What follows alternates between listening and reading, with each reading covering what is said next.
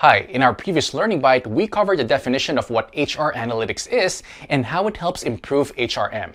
If you don't know the answer to those questions, then you haven't watched the video yet. Please make sure you do so by following the link in the description below before you watch this one. Let's now proceed with today's bite in which we will address the following question. How does people analytics shape the business? HR analytics can add enormous value for organizations, mainly because it enables them to measure the business impact of people policies. In fact, by applying complex statistical analysis, HR analysis can help you predict how the workforce will change in the future.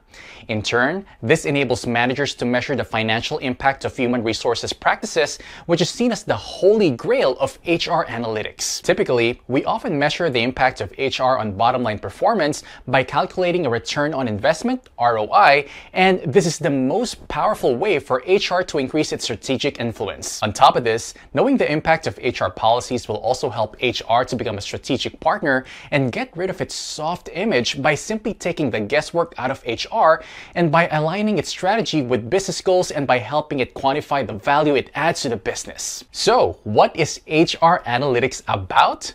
HR analytics is about identifying the people related drivers of business performance. Through identification of these people drivers, people management is based on facts, not on guesswork.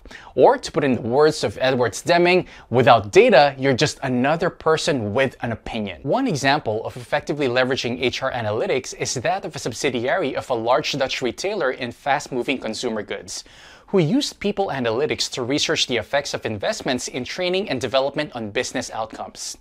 In doing so, the researchers found that training the employees of a shop has a positive impact on the financial performance of that particular shop, reaching a return on investment of more than 400% after one training only. Another example is that of PostNL, a Dutch postal company who used people analytics to design the ideal profile of a mail carrier.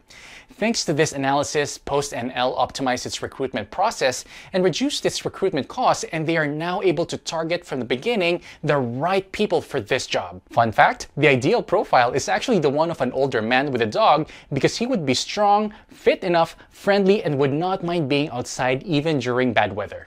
That being said, that was today's bite, in which you've learned about the way HR analytics shapes businesses by taking the guesswork out of it and therefore by making decision making fact based and in doing so, adding value to the organization.